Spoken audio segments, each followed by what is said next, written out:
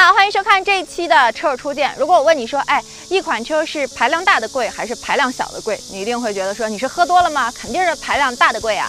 但是亲了解一下，凯宴 3.0T 和凯宴 S 2.9T 如何？今天呢，我们就是在黄山，然后给大家带来新凯宴的试驾。像我们今天呢拿的就是凯宴的，就是最盖的那一版，就是只要九九万，九十九点八万。但是不是前两天关税又下调了嘛？所以说它的价格也下调了，又下调了八万块钱，就是官方的指导价变成了九十一点八万。然后在来之前呢，我们还给北京的这个打了一个电话，就是说店里面的现车，如果说。呃，提的话还有两万的优惠。不过保时捷你了解的，就是说要求有各种各样的一些选配，所以说也都是加装了一些东西的。比方说像轮毂的这种彩标啊，然后还有什么电子罗盘啊，或者像三百六十度啊这些等等等等。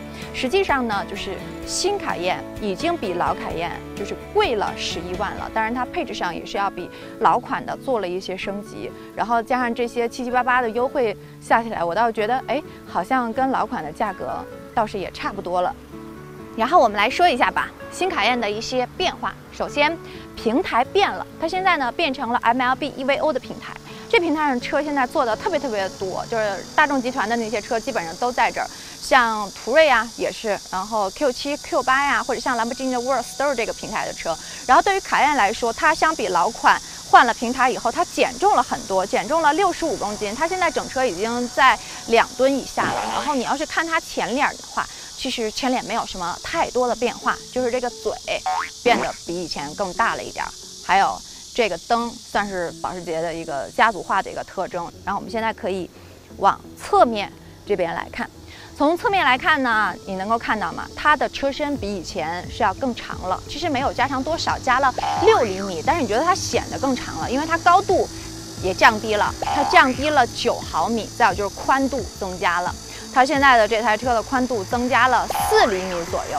然后我们再来说一下啊，就是你可能会看到我的这一台车呢，稍微的长得有一点不一样，因为虽然我们拿到的是一个盖版的，但是它其实也是做了一些选配的。我给大家说一下它这个配置单。为什么要拿这个配置单？因为可以说说价格嘛。其实大家都知道保时捷选配的事儿，但可能多少钱这些事儿你不太了解。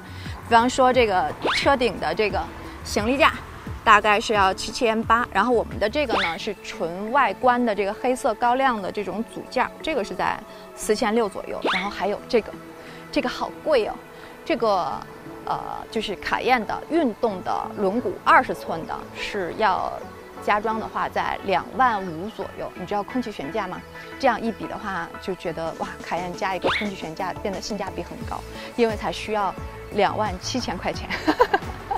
我们往后看吧，因为它标配的都是十九寸的，然后你要，其实我觉得通常大家都会喜欢说轮毂大一点，然后整个车尾就是它现在我觉得新款的。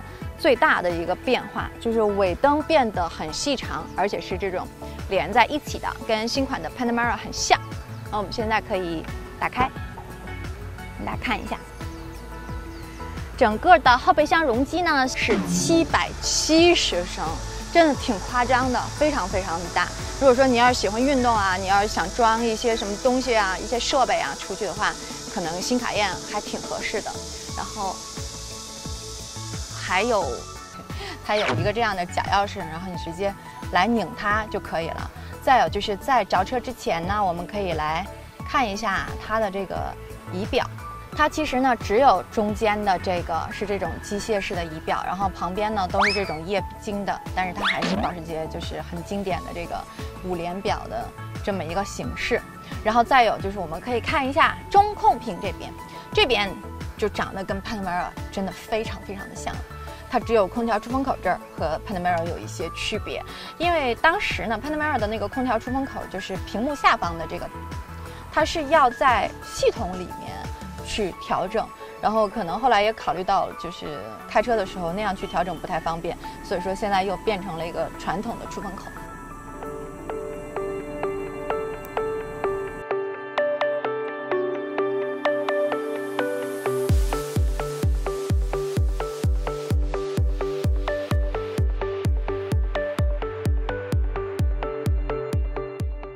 可能会想说，哎，为什么你这期节目一直在说多少多少钱，多少多少钱呢？保时捷嘛，难免的，就是什么东西都是要钱的。你像我们这一台三点零 T，然后是一个 V 六的，是单涡轮增压的。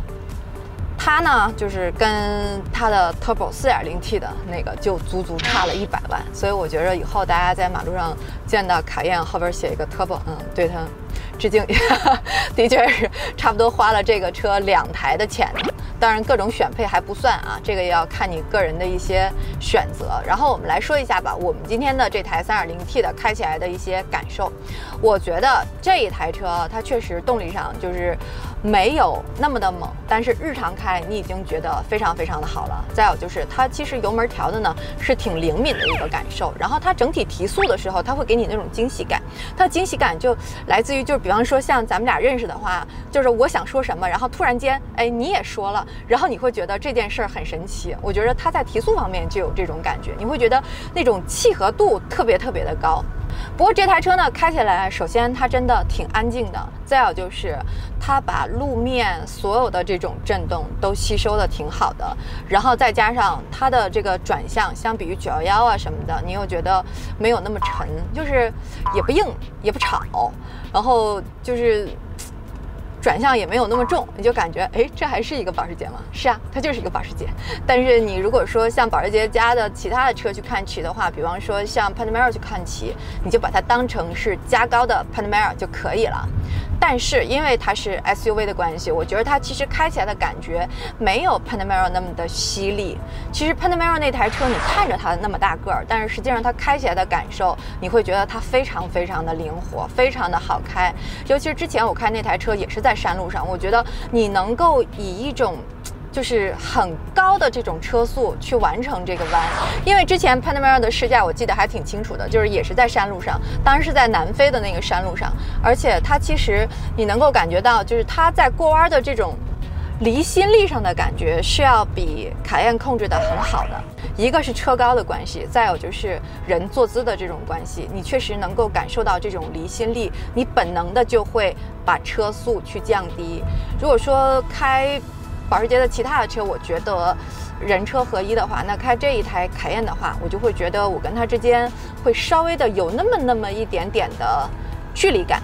在这种时候呢，你可能会说，哎，那就加后轮转向，这个肯定会有用。但是我觉得啊，在一台 SUV 上，就是呃加后轮转向这种东西，它不是为了提高它的过弯的那种极限的，它更多的就是让它在弯道当中会完成的比较轻松。然后还有一个就是比较好玩的，尤其是在 SUV 上，你会觉得挺新奇的一个东西，就是它有主动式的一个扰流，就是在它刹车上面的那个扰流板，它是可以来调的。你比方说，当你很正常，你车速都没变化的时候，你把天窗打开了，它的那个扰流就会自己升起来。就是它能够去呃去掉一些就是空气动力上面的一些损失吧，或者当你全力刹车的时候，它也能够有帮助，就是能够帮你把车速尽量的在降低。再有就是当高速行驶的时候，它是相当于就是给你的后轴增加了一百六十公斤左右的一个下压力。反正这两个功能，我觉得都是对于车辆的稳定性方面的一个辅助的这种功能。还挺有意思的，是吧？听起来，然后再有一个就是空气悬架，我觉得啊，卡宴一定一定一定要加这个，因为在前面也说了，倍儿便宜啊，才两万八左右，你就觉得啊，这个便宜好像一定要占的一个感觉。它其实也是有就是四种高度可以调，然后三种软硬程度可以去调节。但是说到软硬程度，其实这款车呢也是有两档可以去调节，像当你选择这个运动模式的时候。你有一个感觉是来的挺直接的，就是除了它悬架呀、它转速的这种变化，在运动模式的情况下，你是无论如何也开不出来它的第八个档位的。之前我也看，就是我朋友他们参加其他的站的这个卡宴的试驾，然后他们写的文章，就是说说觉得啊这台车的七档和八档对，就是一定要到速度到达多少才能够开得出来，平时你是开不出来的。实际上并不是，我觉得就一定是他选择了 Sport 档，所以说他开不出来。当你选择普通的模式。其实你在今天我开到一百左右的时候，就轻轻松松的就能上七档八档。完全没有问题。它的八档就是因为它更跟你强调燃油经济性，那你既然选择了要它的这个运动性，所以它当然就是表现不出来的。然后还有就是这台车。它的这个燃油经济性的表现还挺不错的。这个教练呢跟我们说，他们这两天呢测的油耗是在百公里九升左右。然后我们其实也没有测油耗，包括很多怠速的情况下也在开着空调，因为天很热嘛。然后我也看了一下表显，大概是在十点多，这个表现还可以。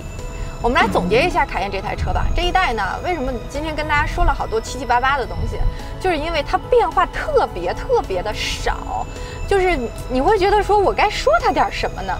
所以就会 开始跟大家扯闲篇儿。它就是外观上也好，内饰上也好，它有很多的变化，跟 Panamera 特别的像，包括它的这个动力单元都跟 Panamera 很像。但是同样是做套娃，你要把你的每个产品的这种定位能够做出来一些区别，这就是考验功力的时候了。我觉得它是一台 SUV，它强调舒适性，然后它的车高的程度要在，就是它肯定会损失一些它的。运动方面的这种感觉，但是凯宴它做到了，就是它是一个嗯肥胖版的九幺幺，就是它算是一个灵活的胖子，它这方面的感受还是挺好的。再有一点就是不会变，就是它肯定还是保时捷家的印钞机。那你呢？你自己觉得这台凯宴的表现怎么样？其实相对于以前的款的话，我会。比较喜欢第三代，我觉着外形上来讲，没有以前看着那么臃肿了，好吧？这就是这期给大家带来的车初见，我们下期节目再见吧。